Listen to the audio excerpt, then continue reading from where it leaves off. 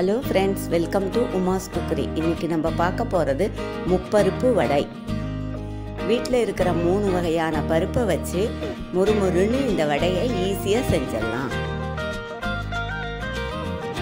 இதுக்கு தேவையான பொருட்கள் துவரம் பருப்பு நூறு கிராம் உளுத்தம் பருப்பு நூறு கிராம் கடலை பருப்பு மூணு ஸ்பூன் பச்சை மிளகாய் எட்டு அல்லது ஒன்பது ஜீரகம் ஒரு ஸ்பூன் மிளகு கால் ஸ்பூன் உப்பு தேவையான அளவு பல்பல்லா நறுக்கிய தேங்காய் முக்கால் கப் கொத்தமல்லி கருவேப்பிலை தேவையான அளவு கடுகு ஒரு ஸ்பூன்.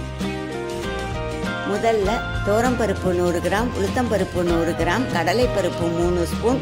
இது எல்லாத்தையும் நல்லா கழுவிட்டு மூணு மணி நேரம் ஊற விட்டுடுங்க.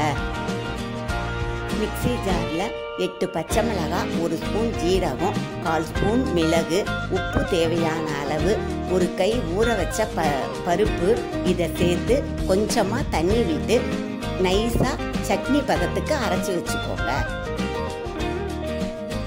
இன்னொரு மிக்சி ஜாரில் மீதி இருக்கிற பருப்பை சேர்த்து தண்ணி விடாமல் வீப்பரில் கொர கொரன்னு அரைச்சிக்கோங்க. இந்த மாதிரி பருப்பை கொர கொரன்னு அரைச்சிக்கோங்க. மையாக இருந்தால் வடை நல்லா இருக்காது. அரைச்சி வச்சிருக்கிற வடை மாவோட இன்னொரு ஜாரில் அரைச்சிருக்கிற காரத்தை சேர்த்து கருவேப்பிலை கொத்தமல்லி தலையை பொடியாக நறுக்கி இதோட சேர்த்துக்கோங்க. இதோட பல் பல்லாக நறுக்குன தேங்காயை சேர்த்துக்கோங்க. தாளிக்கிற கரண்டியில் ரெண்டு ஸ்பூன் எண்ணெய் விட்டு ஒரு ஸ்பூன் கடுகு முக்கால் ஸ்பூன் பெருங்காயத்தூள் போட்டு அதை வடை மாவில் சேர்த்து பெசரி விட்டுக்கோங்க. இப்போ இதில் சேர்த்துருக்கிற எல்லா பொருளையும் சேர்த்து நல்லா கலந்து விட்டுக்கோங்க. ஒரு ஈர துணியில் இந்த மாவை சின்ன சின்ன பால் பாலாக எடுத்து அதில் வச்சு மத்தியில் ஹோல் பண்ணி தட்டி விட்டுக்கோங்க. ஒரு பேனில் எண்ணெய் விட்டு எண்ணெய் நல்லா காஞ்சதும் அதில் ஒரு ஒரு வடையாக எடுத்து எண்ணெயில் சேர்த்துட்டு ஹை ஃப்ளேம்லேயே வச்சுக்கோங்க.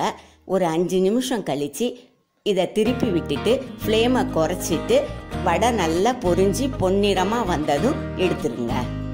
இந்த வடை வெளியே கிறிஸ்பியாகவும் உள்ள சாஃப்டாகவும் சாப்பிட்றதுக்கு ரொம்ப டேஸ்ட்டாக நல்லா இருக்கும். இந்த வடைக்கு தேங்காய் சட்னி தக்காளி தொக்கு புதினா சட்னி இது எல்லாமே சைட் டிஷ்ஷாக நல்லாயிருக்கும் இந்த ரெசிபியை நீங்களும் வீட்டில் ட்ரை பண்ணி பாருங்கள் இந்த வீடியோ உங்களுக்கு பிடிச்சிருந்ததுன்னா உமாஸ் குக்கரிக்கு சப்ஸ்கிரைப் பண்ணுங்கள்